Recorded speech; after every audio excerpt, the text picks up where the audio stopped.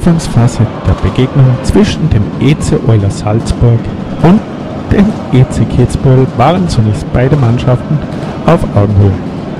Die Kitzbüheler in den blauen Dressen zunächst im Angriff versuchen es, die Oilers gehen jedoch dazwischen. Schöner Pass, Schuss, immer noch die Kitzbüheler und abgewehrt von Stefan Quintus. Herrlicher Save bei dieser Begegnung. Dann allerdings eine Möglichkeit für die Kitzbüheler. Schuss, passt und Tor. Das ist ein Treffer. Ein Stürmer des EC Kitzbühel war völlig frei und von den Verteidigern sträflich in den Stich gelassen und die logische Konsequenz ist ein Gegentreffer. Unhaltbar für Stefan Quintus im Tor der Oilers. Jetzt aber. Immer noch die Kitzbüheler an der Scheibe, abgewehrt von Stefan Quintus. Die Oilers können sich befreien und befördern den Puck in die gegnerische Hälfte. Schöne Aktionen und natürlich, wie man vielleicht im Hintergrund hört, eine gute Stimmung in dieser Begegnung. Jetzt aber die Kitzbüheler im eigenen Verteidigungsdrittel, gut geblockt von einem Spieler des ECL Salzburg und Artyom Konovalov wurde das erste Mal in dieser Begegnung geprüft. Immer noch die Oilers an der Scheibe. Schuss abgewehrt, aber wenn da jetzt ein Spieler der Oilers gewesen wäre, hätte es in diesem Augenblick gescheppert. Die Oilers bleiben allerdings im Angriffsdrittel. Schuss und daneben. Immer noch die Oilers Hitzbull an der Scheibe.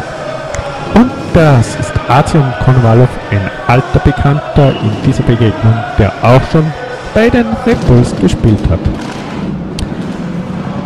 Kitzbühler immer noch an der Scheibe. Schuss und Tor.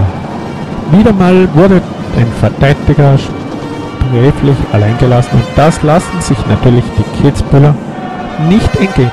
Zweiter Treffer und es sollte es weitergehen. Der dritte Treffer war wiederum ebenso ein Verteidigungsfehler, der eigentlich nicht sein hätte müssen. Zweites Drittel. Zunächst einmal der EC Kitzbühel am Buck wird noch abgewehrt und Stefan Quintus konnte sich durch eine herrliche Aktion auszeichnen. War für mich natürlich der beste Spieler am Eis, kann man echt so sagen damit einen sicher scheinenden Gegentreffer verhindert. Jetzt aber der EC Euler Salzburg an der Scheibe. Kontermöglichkeit, Schuss und Tor! Endlich haben auch die Oilers eingenetzt. Schöne Aktion, keine Chance für Artyom Konvalov im Tor. Der Kitzbüheler einen Gegentreffer zu verhindern. Gibt es vielleicht jetzt noch einen Ausgleich? Schauen wir es uns an. Zunächst allerdings die Kitzbüheler wieder an der Scheibe. Schuss, Querpass, immer noch die Kitzbüheler in einem Konter. Sollten abziehen. Schuss und das darf ja wohl nicht wahr sein. Wieder mal ein Verteidigungsfehler der Salzburg. Wir befinden uns im Schlussdrittel. Immer noch die Kitzbühler an der Scheibe. Jetzt können sich die Oilers befreien. Und abgewehrt. Jetzt allerdings werden die Goles verloren. Und Tor für den Oilers. Der zweite Treffer schön herausgespielt. Und wenn man natürlich den Kohle wegnimmt, dann kann man auch Tore erzielen. Jetzt aber Schuss. Immer noch die Kitzbühler an der Scheibe. Jetzt verlieren sie eine Oilers. Schuss.